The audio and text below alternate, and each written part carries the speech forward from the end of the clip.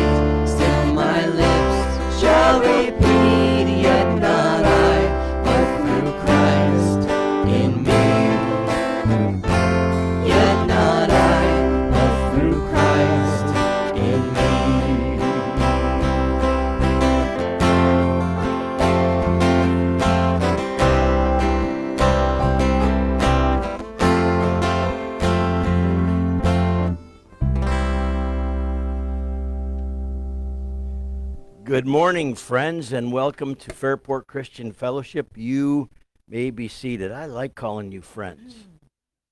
Am I your friend?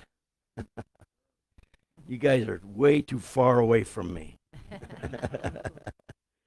uh, we're going to open this morning with a scripture from 1 Peter chapter 1 verse 3. It says, "Blessed be the God and Father of our Lord Jesus Christ, who according to his abundant mercy, has begotten us again to a living hope through the resurrection of Jesus Christ from the dead. I'm not going to dive into the whole verse. I'll probably be doing it a little bit later.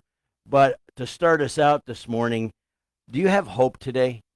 It says here that it's a living hope. It's alive. And why is it a living hope? It's because of the resurrection of Jesus Christ. Bottom line, because Jesus was, he didn't stay in the grave, he rose from the dead. Resurrection. Because of that, we have a living hope.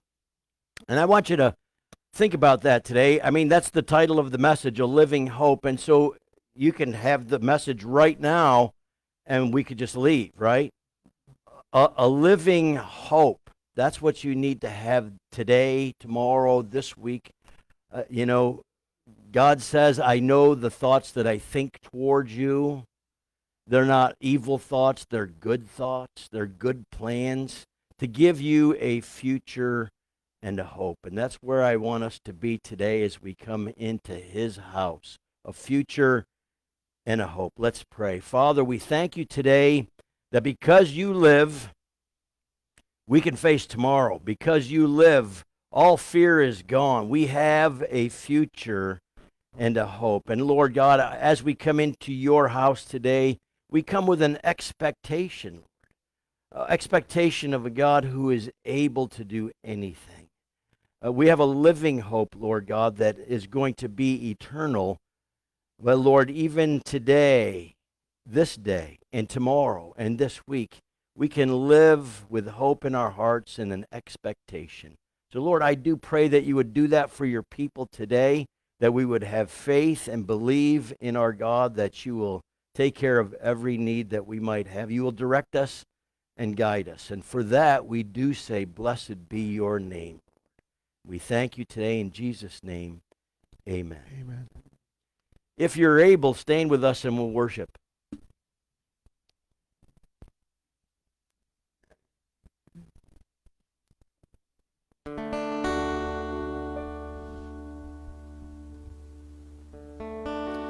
The Bible says that there's some number of elders, I can't remember how many, that are up in heaven casting their crowns before the throne. 24, my wife says, thank you.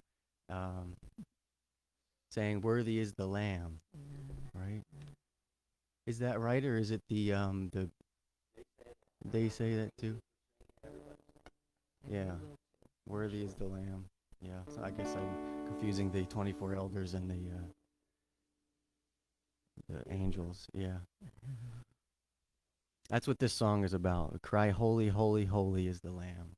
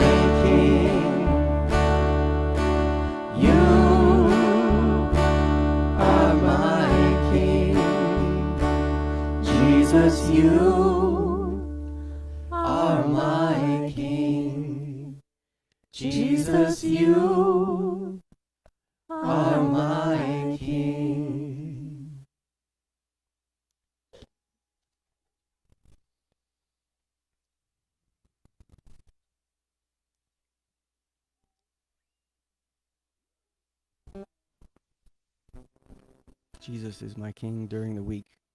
He's my king at home.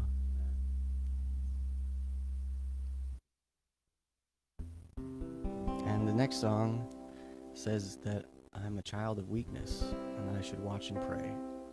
That's true too.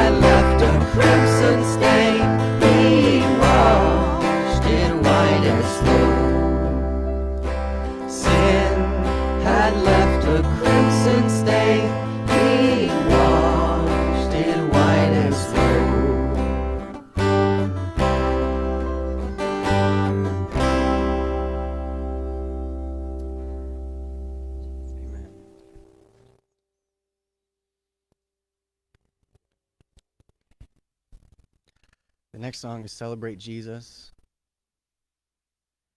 And I don't think we should sing it uh, with a solemn tone and voice.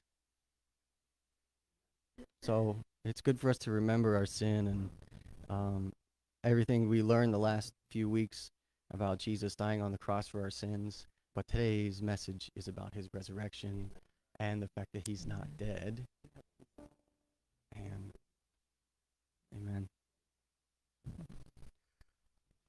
So help me celebrate.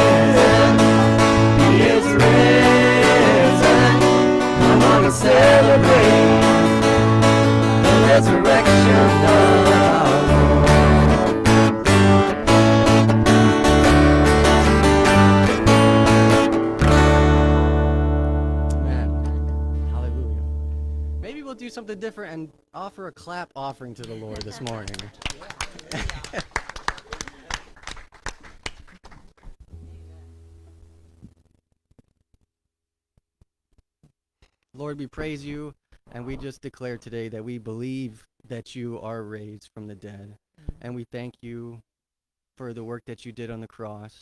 And we ask your help to give us faith. We know your word says faith comes by hearing, and hearing by the word of God. Mm-hmm.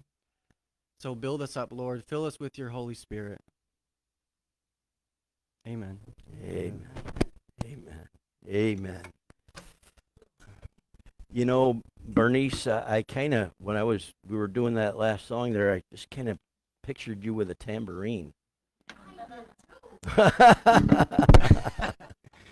and maybe a cowbell too. Not you, maybe somebody else. We need more cowbell. but it is a celebration today. It is a celebration. We'll get to that in a few minutes. Uh, a couple announcements. This week, okay, this coming Saturday, women's Bible study, 10 o'clock, Saturday morning. Galatians, okay? And uh, also, you can see back there on the side and in the back, there's announcements uh, there. Uh, December the 5th, we are collecting donations for the Open Door Mission. We're collecting them back there. I see that people have already done that. Bring them in by December 5th. Uh, items that are needed children's winter's clothing, children's coats, winter footwear, diapers, pull ups, bathroom tissue, facial tissue, paper towels, sugar, coffee, dairy creamer, boxed breakfast cereal, and canned soups for the Open Door Mission. And also, kind of going along with the Christmas season and an opportunity to bless others.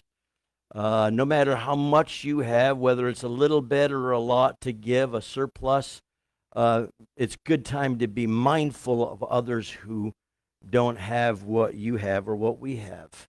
And so there's a, a Christmas collection for two families that live in the Pines. One family has four children, and one family has one seven year old boy. So you can see the details back there.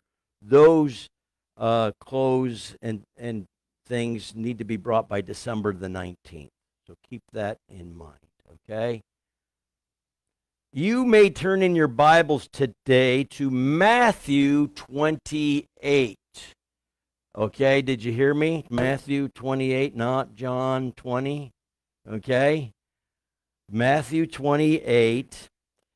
And uh, we are going to do John, the first verse in John, but that's as far as we're going to go in John today.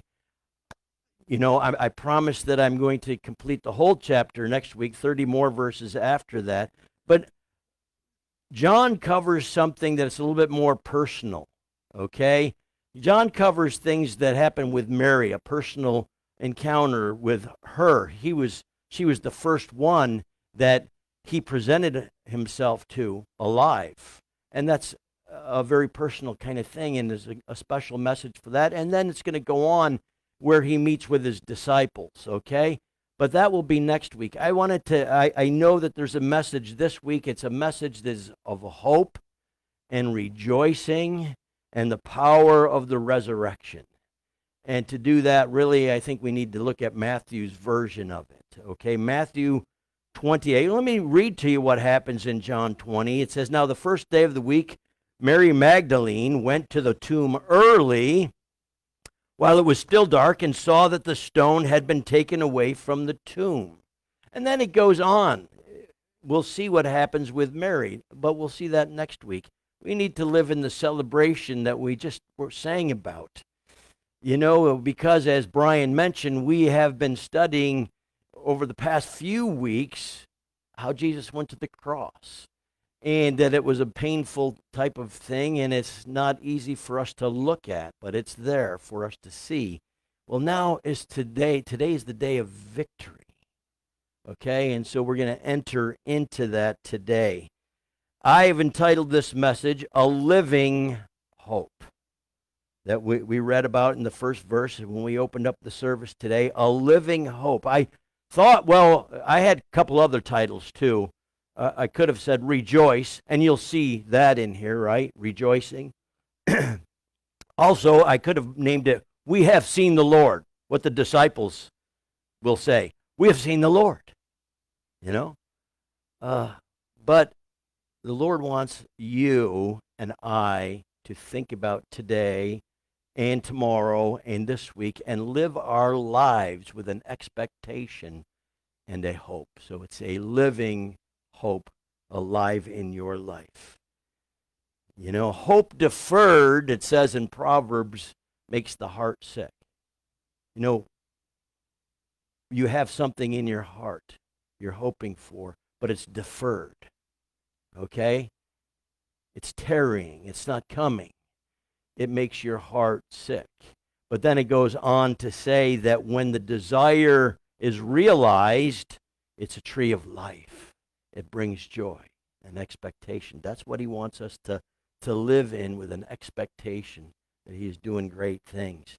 I had you turn to Matthew 28. I'll read verses 1 through 8. Follow along with me. Now, after the Sabbath, as the first day of the week began to dawn, Mary Magdalene and the other Mary came to see the tomb. And behold, there was a great earthquake. For an angel of the Lord descended from heaven and came and rolled back the stone from the door, and he sat upon it. His countenance was like lightning, and his clothing as white as snow. And the guards shook for fear of him and became like dead men.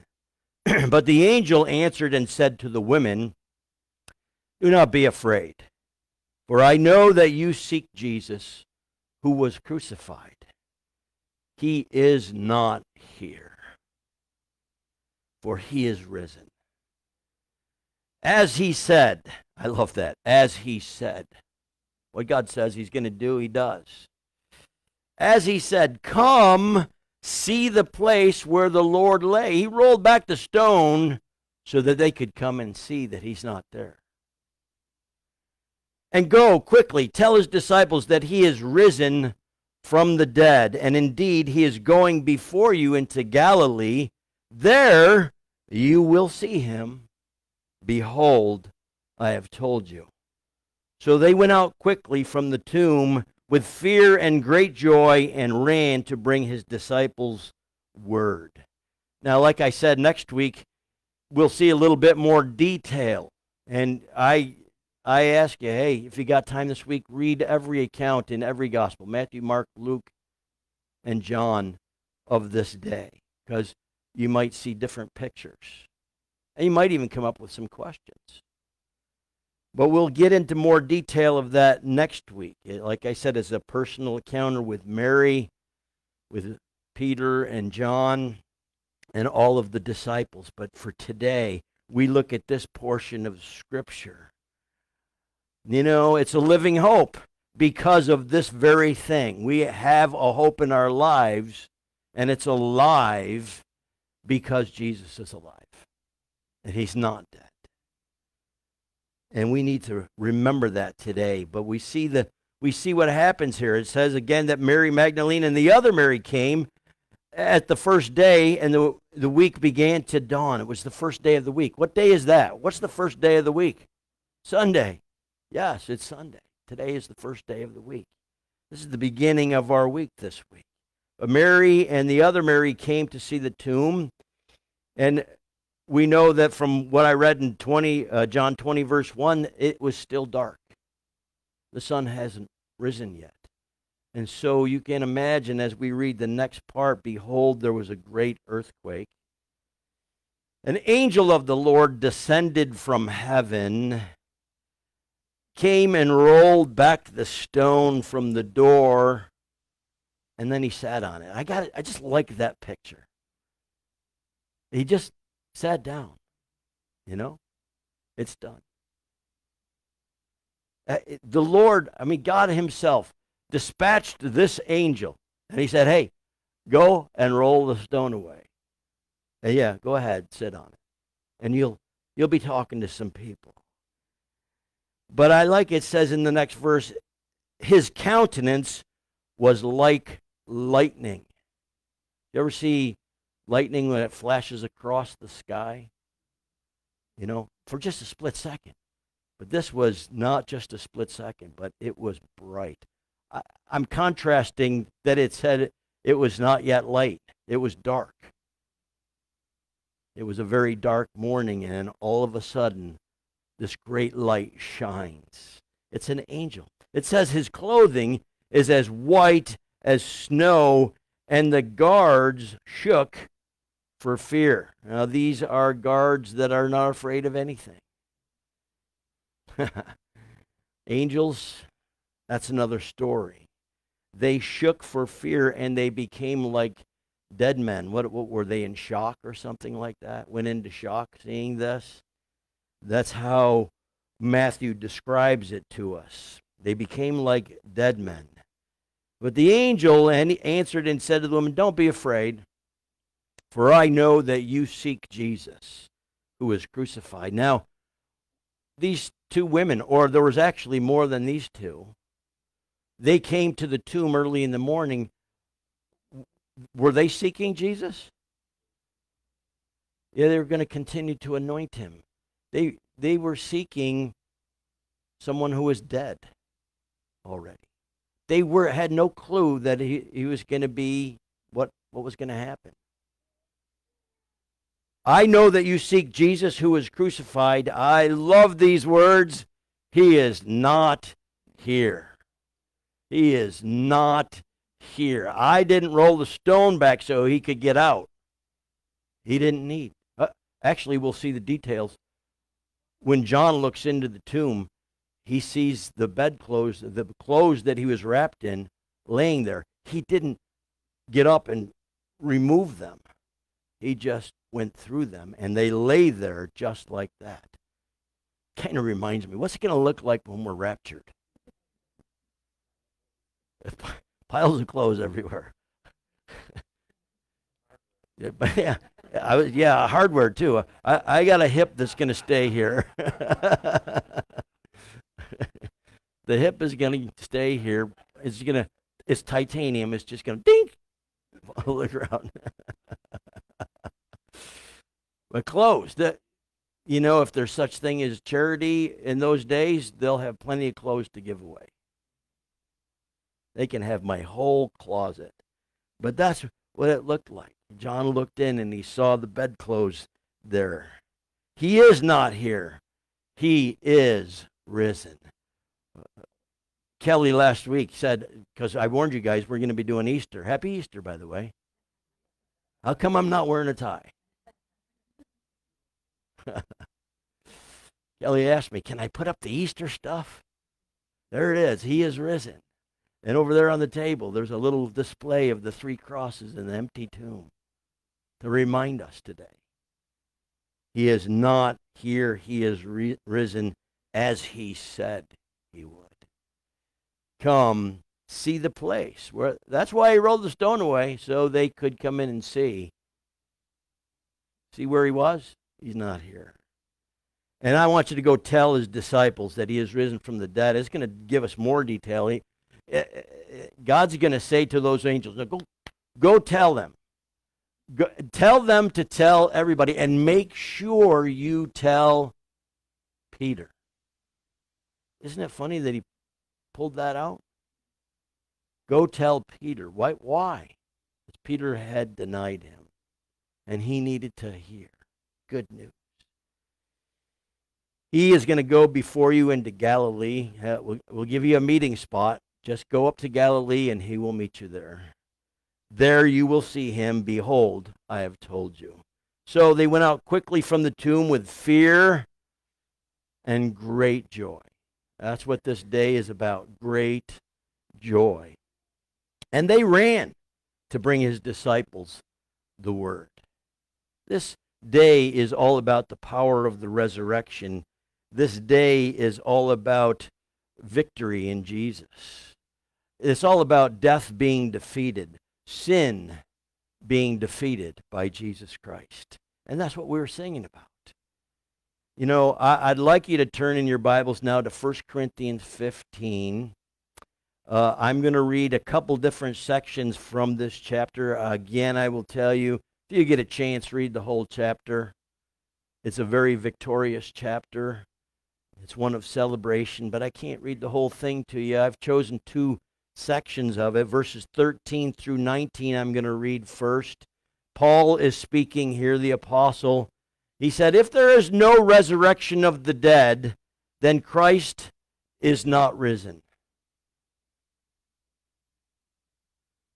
And if Christ is not risen, then our preaching is empty and your faith is also empty.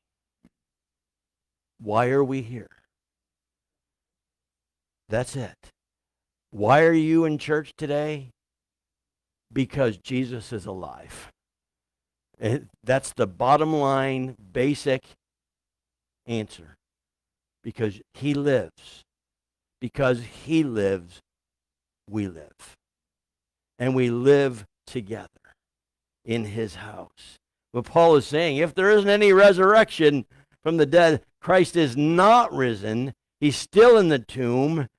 And our preaching is empty or void or vain, and your faith is also empty. Yes, and we are found false witnesses of God because we have testified of God that he raised up Christ, whom he did not raise up, if in fact the dead do not rise. Did you understand that? For if the dead do not rise, then Christ is not risen. and like I said, if that's the truth, if that's what, what's going on, why are we here today? And what would we be doing, or what should we be doing if we didn't have that hope in us? We would, yeah, you know, just like we talked about last week. You know, my subject matter expert. When you're dead, that's it. That's that's it. Where'd you get that information? Oh, I just think it's that way. Well, man, you got no hope. That's basically what it is. You have no hope.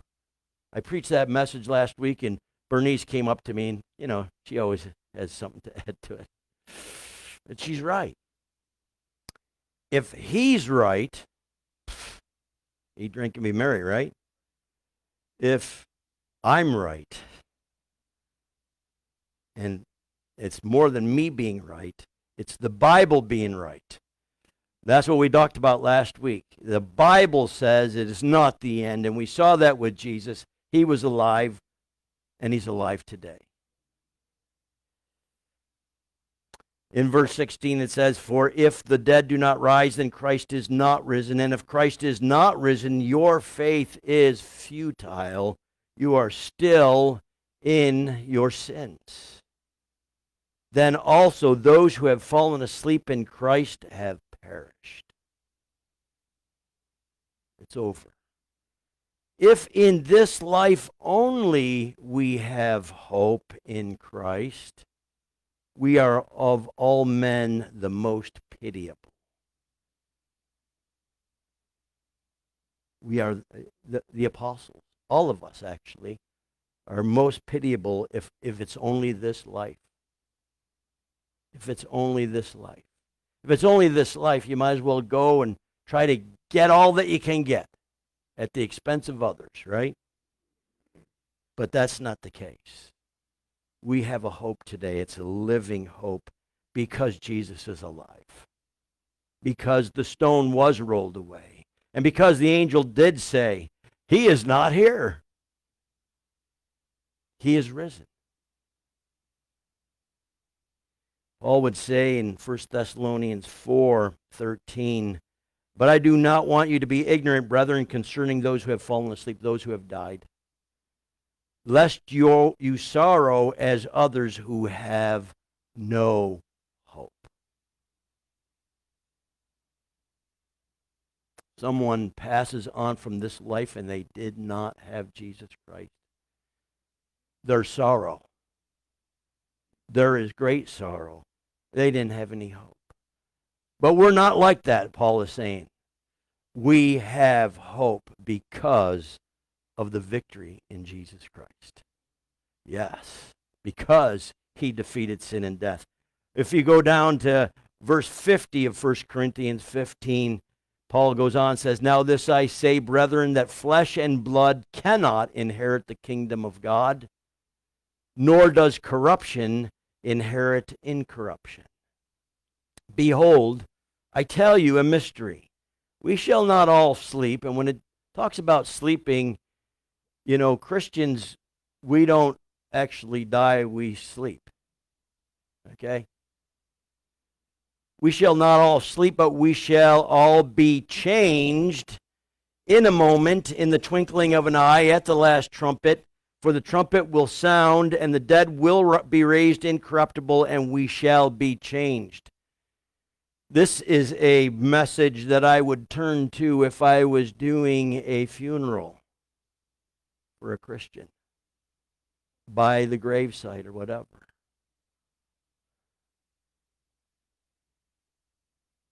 For this corruptible must put on incorruption, and this mortal must put on immortality. So when this corruptible has been put so when this corruptible has put on incorruption and this mortal has put on immortality, then shall be brought to pass the saying that is written, death is swallowed up in victory. Death is the enemy. Death will be swallowed up. And Jesus was the first one raised from the dead. And he defeated death. Oh, death, where is your sting? Oh, Hades, where is your victory? The sting of death is sin, and the strength of sin is the law. But thanks be to God. And there we are. But thanks be to God who gives us the victory. How? Through our Lord Jesus Christ. Because he lives because he lives, because he's alive, because he is risen, because he is not there. We have victory. He gave us the victory. We overcome. We have victory over sin and death because he did that for us. And so we simply say, Thanks be to God. Thanks be to God. If you have nothing to give thanks for today, give thanks for this. We have a lot to be thankful for. But maybe we'll wake up tomorrow morning and we'll we'll like I don't know, feel like not very thankful. Be thankful. But thanks be to God who gives us the victory through our Lord Jesus Christ. Victory is ours. We are it says in Romans more than conquerors. That means we've already won. It's a done deal it's a done deal. But it all comes from Matthew 28, those first few, few verses. The angel rolling the stone away. He's not here. He is risen. He is risen. And Jesus would declare this on the wall, John chapter 11. Maybe you you remember this back in John chapter 11 when Lazarus had died and his sisters were, were, were mourning and they were sorrowful because they loved their brother just like we love our family members. And he came and Jesus wept with them, mourned with them. That's what you do in those situations. You mourn with those people. But he came and he actually wept and he was deeply distressed, even though he knew what he was going to do. Why? I believe because he hates death. God despises death. I've heard, I've said this to you before. God despises death. He doesn't intend anybody to die. He doesn't didn't want anybody to die. He didn't he didn't give us the software to to to to be able to handle death. Because he didn't want anybody to die and he's going to take care of it. But Jesus said in John 11, I am the resurrection and the life. He who believes in me, though he may die, he shall live. And whoever lives and believes in me shall never die. Do you believe this? Yes, I like to hear that. Every time I, I, I use this verse, he asked the question, Do you believe this? He's asking people today. Maybe you're watching on YouTube or Facebook or whatever, and you have not. The question to you is Do you believe this? Do you believe this that Jesus Christ is the resurrection and the life, and that if you believe in him, that he rose from the dead, that, then you will have eternal life also? Or are you skeptical? Are you doubting? It all comes down to faith. He challenges, the Bible is a book of faith. From the very beginning, it challenges mankind to believe. From the very first verse. In the beginning, God created the heavens and the earth. Taught that to my eight year old grandson. Yes, he can recite it. In the beginning, God created the heavens and the earth. Do you believe that? Do you? How many people look up at those stars and say, oh, there's no way? you know, or they try to figure it out with, hey, don't lean on your own understanding, okay? It's very limited, extremely limited. It's it's better to go seek the counsel of the Lord. And the counsel of the Lord is written for us. And it just plainly declares that He created the heavens. And by the word of the Lord, it says in Psalm 33, it was. He spoke, and it was. Simple as that. Let there be light. And there was light. Wow. But the Bible is a book of faith that challenges us to believe that there is a God. Not only is He the Creator, He is your Redeemer. Creator, Redeemer, Savior. The Son of God. He challenges us to believe that, and He says, Whoever lives and believes in me shall never do you believe this? This is a message of great hope for the future. And that's what I say. That's why I call it a living hope. Jeremiah 29 13, I think it says, For I know the plans that I have for you. 11?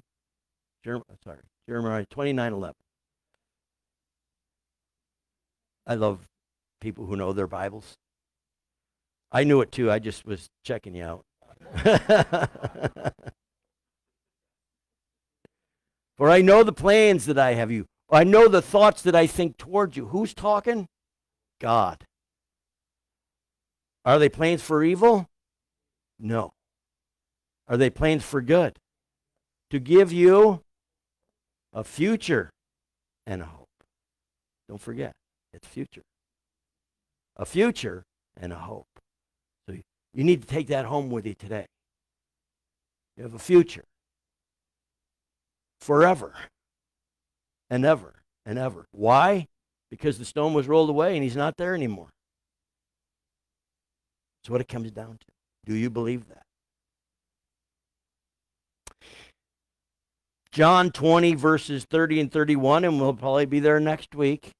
John, the gospel writer, writes this down, this statement. This is the key to the Gospel of John, right here, these two verses.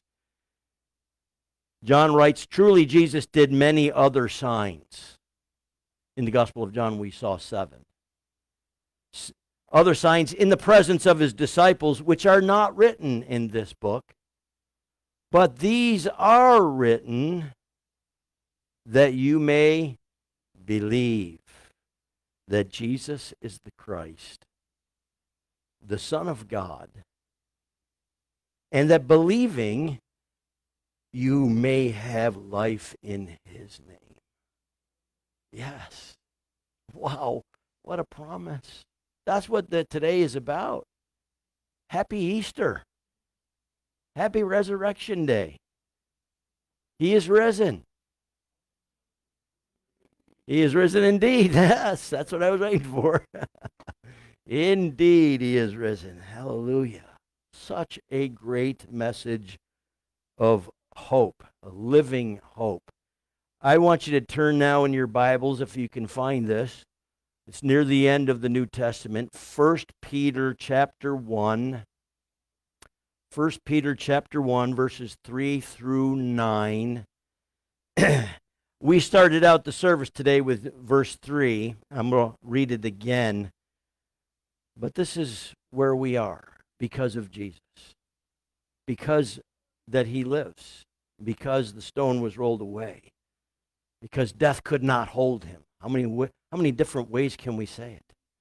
How, how many different songs could we sing that we know? Do you have any Easter songs in your head now? You know? But I think this is important. As I was preparing notes for this uh, over the past few weeks, just just two days ago, the Lord brought me to this. It says, I want this in here. 1 Peter chapter 1 verse 3 Blessed be the God and Father of our Lord Jesus Christ who according to his abundant mercy why because of his abundant mercy has begotten us again to a living hope through the resurrection of Jesus Christ from the dead that term that phrase begotten us again it's the same as being born again. He has begotten us again. 2 Corinthians 5:17 Therefore if any man is in Christ he is a new creature the old things passed away. Behold new things have come. New things have come. He has begotten us again to a living hope. Why? Through the resurrection of Jesus Christ from the dead. Oh let's go on though. To an inheritance incorruptible and undefiled and does not fade away, reserved in heaven for you. Come on. Amen. This is a tremendous. Yeah.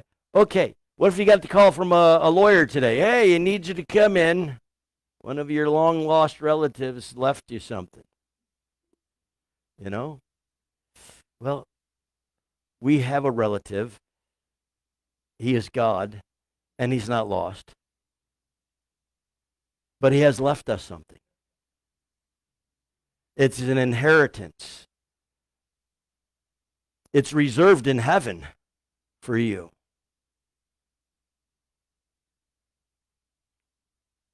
John, aren't you excited? You're on vacation for two weeks. Yeah, I, I know. And Friday after work, 5 o'clock, it was like, yee-haw! Yeah. You, you got a reservation for somewhere? In Florida. You going to Florida? How you getting there? You're going to drive down there and then you're going to stay with your brother and, and then you got what? Uh, how you getting back? You're going to fly in a plane. They, they expect you? Are they expecting you? You got a ticket. You have a reservation. They might cancel it. Did you buy insurance?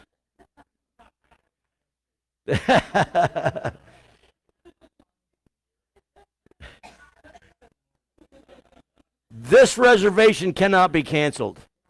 it is not canceled.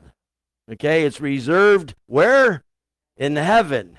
And it says it's incorruptible, undefiled, and does not fade away. Amen. It, it's not, you know, diminishing as we go through life. Doesn't fade away. It's there. This is a tremendous verse. Jesus said, Don't lay up for yourselves treasures in on earth where rust and moth destroy. He says, Lay up for yourself treasures in heaven where moth and rust cannot destroy and thieves can't break in and steal it. You might have a 401k, it can be stolen. But your retirement plan in heaven can't be stolen. Why? Because Jesus. Because he, res- he was resurrected from the dead, and you believe in that. It says, To an inheritance incorruptible, undefiled, that does not fade away, reserved in heaven for you, who are kept by the power of God through faith for salvation, ready to be revealed in the last time. In this you greatly rejoice. There could have been a title, Rejoice. I mean, the angels are going to say it in one of the other versions. Rejoice! He's alive. We read where the, the ladies were running to go tell the disciples, and they were filled with fear and what? Joy. Joy. Rejoice. In this you greatly rejoice, though now for a little while. There's that expression again, a little while. If need be, you have been grieved by various trials. That the genuineness of your faith, you see, your faith in Jesus begins, but it is often strengthened. And how is your faith in Him strengthened? Uh, lots of times by trials in your life. The word of the Lord tests you. If need be, you have been grieved by various trials, that the genuineness of your faith, being much more precious than gold that perishes, though it is tested by fire, may be found to praise, honor, and glory at the revelation of Jesus Christ, whom having not seen, you love. Though now you do not see him, yet believing, you rejoice with joy inexpressible and full of glory, receiving the end of your faith, the salvation of your souls. I, I began, I, I got this scripture. The Lord gave me this scripture because I was actually thinking about Mary and I was thinking about Peter and Thomas and the disciples. And, and, and John, the gospel, gospel writer, in his first letter in First John, he says, you know, we beheld him. We, we touched him. We heard him. We walked with him. And I thought, I haven't. When's the last time you saw Jesus in person? When's the last time you handled him? John knew what that was like day after day for three years. Mary, Jesus is going to have to say to her, Don't cling to me she was probably grabbing him and going, Jesus, I lost you, and now you're back, and I'm never letting you go. Don't cling to me. He didn't say you can't touch her. Thomas touched, touched Jesus, didn't he? But I started to look up that, thinking to myself. But Peter tells me he redirected me. The Lord redirected me to First Peter whom having not seen, you love. Jesus would say to Thomas, You know, you, you believe because you put your fingers in my hands. Blessed are those who don't see and yet believe. Whom, whom having not seen you love, though now you do not see him yet believing, you rejoice with joy inexpressible and full of glory. Full of glory. Receiving the end of your faith, the salvation of your soul. See, it comes down to Jesus saying, Do you believe this? You know, it's funny. You know, you read the end of the Gospel of Mark, it'll say that even though Jesus presented himself to his disciples, they doubted. And who wouldn't? Who wouldn't? But he challenges us to believe that today. And if we do have that belief and that faith, then we have a great and living hope. right? A living hope for today and for our future and forever. And that is something to rejoice about. That is something to rejoice about. This is not the end. It's not the end. You know, I we were going to sing a, a final song. I'm, you know, and, th- and the song that they were going to sing, I love the song, um, "Children of the Living God." Maybe we can start with that next week. I don't know. We'll we'll we'll have to see. But that's a it's a great song. But I wanted to have you guys sing this with me, okay? And I'm going to need your help. Okay, I can try. But all week long, I have had this in my head, this little chorus, not the whole hymn, the whole song, but just this little chorus here. And I didn't realize why I had it there. It was there all week, and you know, it's like that's what the Lord does. He he starts days in advance, and then finally comes through. Okay, you knuckleheads, but it's been there for a reason. But this is the chorus. Because he lives, I can face tomorrow. Because he lives, all fear is gone. Because I know he holds the future, life is worth the living just because he lives. Anybody familiar with that? Well, I'm going to need you. Why don't you all stand with me? The words will be up on the wall, and I'll try to start us out, and we're going to sing it at least three times, okay? And then I'll close in prayer. But sing this knowing that we have such a hope. It's a living hope simply because Jesus rose from the dead. Because he lives, I can face tomorrow. Because he lives, all fear is gone. Because I know he holds the future. Life is worth the living just because he lives. Because he lives, I can face tomorrow. Because he lives, all fear is gone. Because I know he holds the future, and life is worth the living just because he lives. One more time.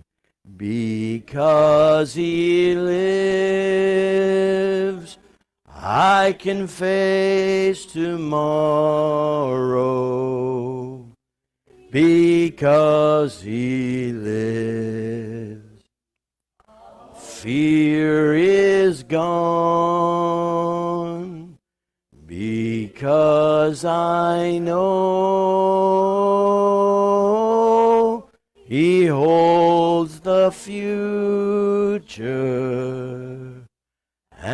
life is worth the living just because he lives.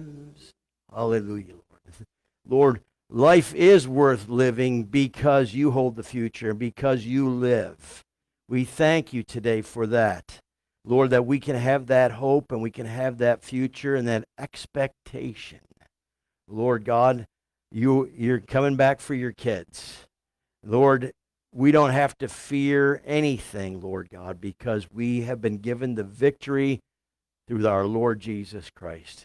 And I do pray that you would help us to live in that victory today and this week. And we pray that today in Jesus' name. Amen. Amen. God